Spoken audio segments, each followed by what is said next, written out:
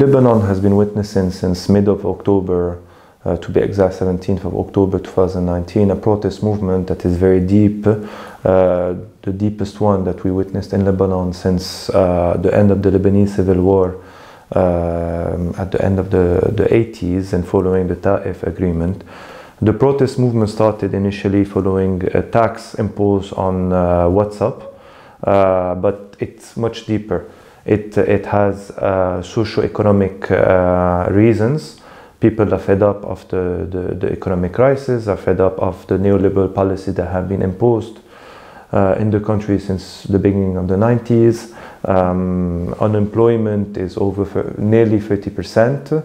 Uh, this was in October. It, it has uh, increased since then.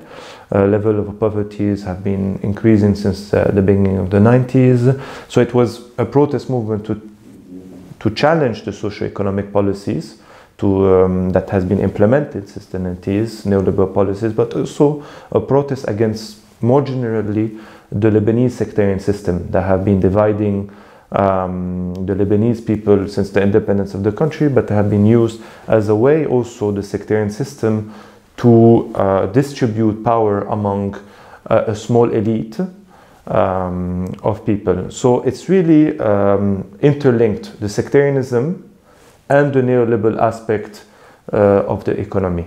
And what is different also with this protest movement is that it's very much decentralized, not only concentrated in Beirut, but we've seen massive protest movement until today in the, the northern areas of the country, Tripoli, which is the most impoverished uh, city uh, in Lebanon and its surrounding areas, to the south, to Nabati and Sur, uh, and also the Bekaa and the borders close to um, to Syria. So we've seen protests throughout Lebanon, which is very much different than the previous protest movement in 2015 with the You Stink movement. And in the beginning of the, the general uprisings of the region in 2011, also was very much concentrated in Beirut. And it's much more deeper in the sense that it's much more popular. It's not only in many sense 2015, 2011 was a bit more restricted to the liberal middle class of uh, Beirut. We see the popular uh, areas, the different popular areas and the different sects being um, involved in this uprising. And it's been ongoing until now. Uh, and there's been a radicalization in many aspects of the, of the movement since 17th of October. We've seen increasing attacks against symbols, if you want, of corruption, of wealth in Lebanon, being, for example, banks that have played a, a critical role uh, in the economic crisis uh, of the country, but also places of wealth that have been privatized, for example, uh, areas close to the, the beach, uh, particular areas of the center of the city that are well known for, for being wealthy and that most of the Lebanese people cannot uh, benefit from it. Um, and since then, there have also been um, aspects of uh, organization, structuration of the movement, which is the biggest challenge because protests have been ongoing, but there've been a, a, bit of a lack of organization leading it. And there are new attempts to, to organize, to structure this movement across geographical areas and across uh, sectarian differences.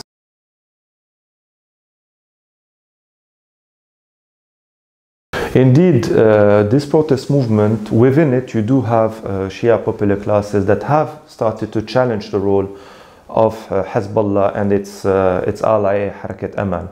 Uh, we've seen protesters you know, denouncing directly the role of Hezbollah being part of the ruling class, of implementing the same policies that the rest of the, the political elite when it comes to neoliberal policies or the way they manage the various neighborhoods, cities, villages uh, they govern. Uh, of patronage networks as well. Um, so it's indeed the first time that we see at this level uh, a protest movement challenging Hezbollah, even within, uh, to some extent, its own popular classes, the Shia popular classes. Uh, Hezbollah has um, reacted to this protest movement first by opposing it very harshly. The, the first speech of Hassan Nasrallah uh, two weeks after, one week after the uh, the beginning of the protest movement was very harsh against the protesters, accus accusing the protest movement of being controlled by foreign powers, by foreign embassies. Um, and uh, it also, following the speech of Hassan Nasrallah, the Secretary General, uh, mobilized its own popular masses, its own supporters, to challenge the movement, not hesitating also to attack physically the protesters in, uh, in various areas of Lebanon, especially in Beirut and in southern cities, whether Sur uh, or uh, or even in some areas of the Bekaa. Um, so, and also through its medias, uh, through its medias, trying to, to portray the movement as being controlled by foreign embassy, of being, you know, people involved from outside, conspiracy theories, etc., or just to, to, to portray the, the, the movement in a very negative way.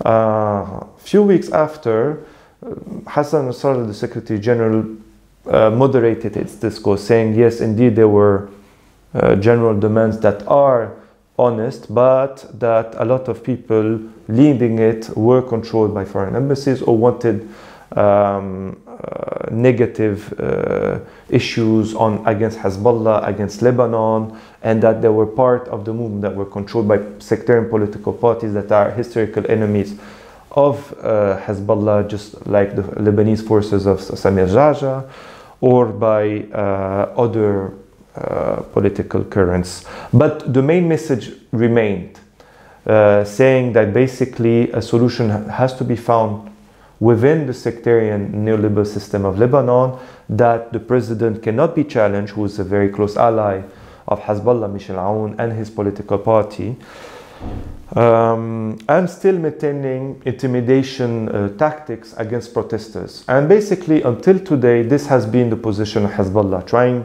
to maintain the sectarian system, uh, so trying to find a solution within the, the sectarian system, um, and maintaining its close relationship with its closest ally, uh, being the Free Patriotic Movement of Michel Aoun and Harakat Amal uh, of uh, Nabih Berri. Um, in addition to this, as I said, as I mentioned, maintaining intim intimidating tactics, attacking some protesters or historic uh, figures that oppose Hezbollah among the also the Shia community.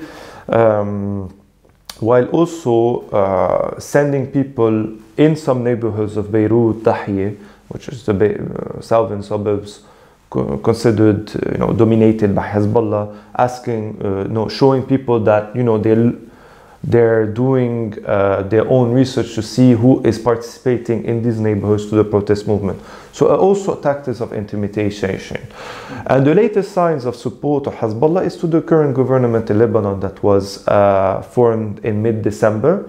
Uh, Hezbollah voted in favor of this uh, government while saying it's not its own government, but it's definitely supporting it and trying to put an end to the protest movement through these different ways. Institutional ways, through this, as I said, the support of this government, or institutional ways by maintaining the sectarian and illiberal system uh, and maintaining its close relationship with allies that are also being challenged by the protest movement, uh, violent tactics, attacking protesters, using also media to portray negatively the, the movement, and also now using increasingly following the assassination of Qasem Soleimani, the head of the Pasdaran uh, Iranian uh, military uh, paramilitary army, uh, using geopolitical tensions to try to uh, to concentrate all the problems of Lebanon uh, of foreign tensions, foreign geopolitical tensions, putting the blame on the US also for the economic problems. Uh, but this is not working uh, for the moment. So Hezbollah is definitely seeing this movement, uh, this protest movement, as a challenge uh, to its power.